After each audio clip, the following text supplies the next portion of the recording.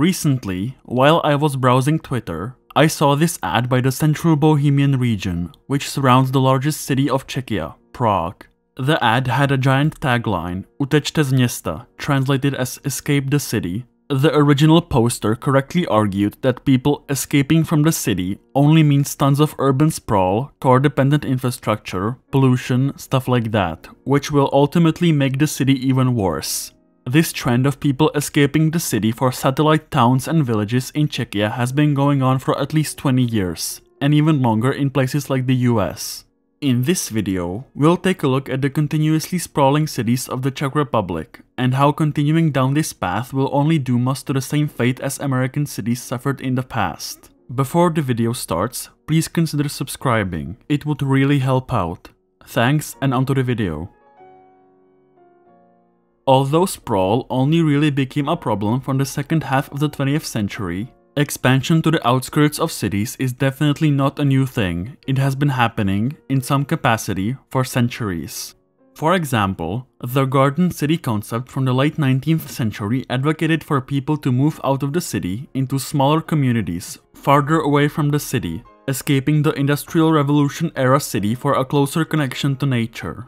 However, these didn't really present a problem, urban planning wise. These garden cities were still quite compact, and they were connected to the large city with rail lines. The real problems started right after the end of the Second World War. After the war, the US found itself at the top of the world. The conflict didn't reach its soil, and after the hostilities ended, the factories building Shermans, Jeeps, and military trucks started churning out passenger cars and other consumer goods.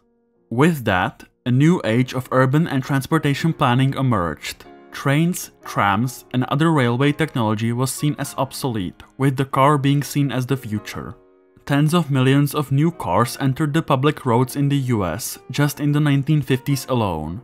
To accommodate the shift in the social climate, as well as all of the new cars and their hunger for physical space, a lot of cities were demolished and subsequently rebuilt for the car. Sprawling suburbs were built around the edges of previously dense cities, creating what is now well known as suburban sprawl. The rise of car-centric suburbia also brought on a different type of hardship, economic and racial inequality. Around the time the car took over American cities, the populations of said cities were moving to the suburbs en masse. However, not everyone could afford a car or two and a plot of land outside of the city. This, as well as blatantly racist practices like redlining or outright denying housing to people of color, led to even starker racial and economic divides between the population. After the initial rise of car-centric suburbs in the US, this pattern of urban planning spread to lots of places around the world, mostly around the capitalist Western Bloc. However, even in Western Europe, suburbs weren't as sprawling as in the US or Canada, for multiple reasons. Firstly, the US subsidizes the absolute ever-loving fuck out of gasoline. In 2022, subsidies towards the fossil fuel industry reached 757 billion US dollars. To put that number in scale, according to the International Monetary Fund, the GDP of the Czech Republic in 2024 is $343 billion. Just in 2022, the US shoved the value of two whole Czech economies into direct and indirect fossil fuel subsidies, with another $71 billion to spare. Secondly, the US, as a single country, has far more land than any single European country. In comparison, the Eastern Bloc developed in a more dense manner, at least until the 1990s. However, after the economies of Central and Eastern Europe transitioned from centrally planned to capitalist in the 90s, the urban planning trends that happened from the 50s to the 70s in North America started happening here.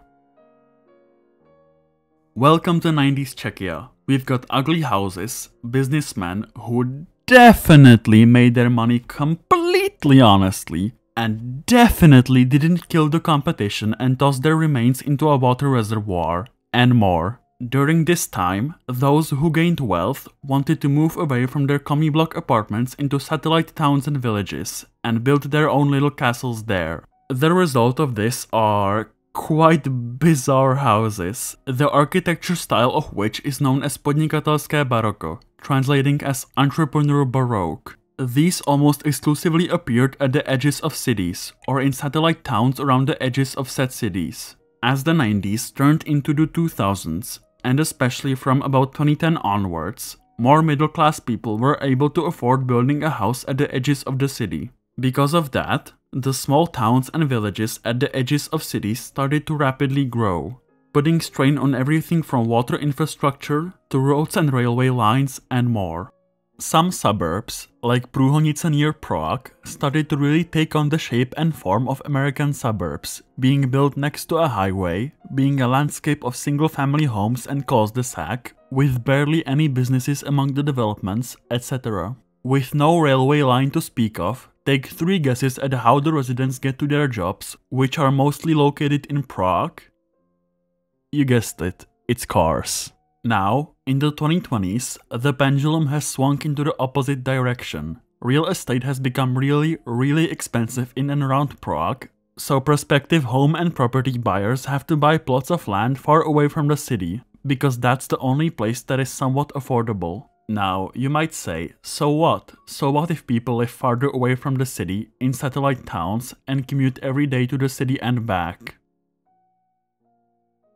I personally believe in the freedom to live your life however you want to. However, this has its limits. I have nothing against people who choose to build or buy a house in some suburban community outside of the city, but what I do have a problem with is the implications of that. Many suburbs are served by rail lines or other high-capacity form of public transport, like Černošice in the south of Prague or Říčany in the southeast of Prague, which is great, because they allow lots of suburbanites to get into the city in a clean, space-efficient way. Railway stations also promote density, because developers and planners want the largest number of people to be served by that station. However, more and more suburbs are springing up and growing in places with no or very inefficient rail service, and because of that, the population is either forced to use sometimes quite inefficient bus service or cars.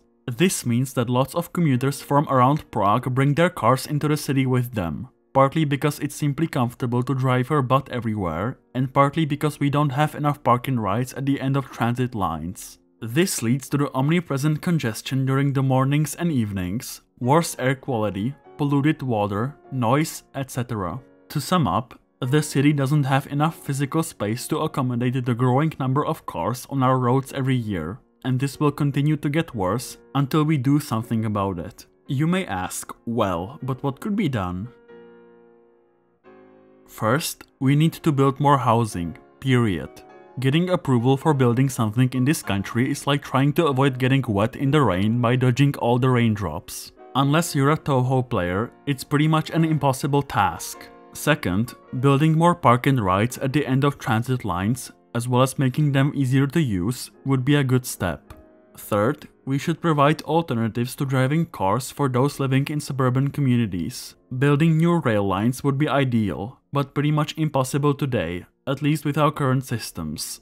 However, even something like running feeder buses to larger public transport stations or encouraging cycling to those stations where possible would help to reduce the congestion on the city's roads. In conclusion, suburbia, at least in its current car-centric form, is absolutely unsustainable, both economically, environmentally and socially. Suburbs will always exist, but that doesn't mean that we shouldn't strive to make them better for all. Anyway, thank you so, so much for watching to the end, you're a real legend. If you'd like to support my work, I have a Ko-Fi page with 3 membership tiers, all of which bring you sweet benefits. There are also affiliate links to the equipment I use to make these videos in the description. Any help would be greatly appreciated. I'd also like to take this time to thank Arrow Martian for supporting the channel with the top membership tier. I can't express how grateful I am for the support. Enjoy the bloopers, this has been Tramly and I'll see you next time. Bye! Although sprawl only really became a problem from the second half. Hmm. Ah. However, even in Western Europe, suburbs weren't always as sprawling as in the US and Canada. From 4. Come, bruh, bruh. As the 90s turned into into the hey, bro, come on. Third, we should provide alternatives to alternatives. Four syllables.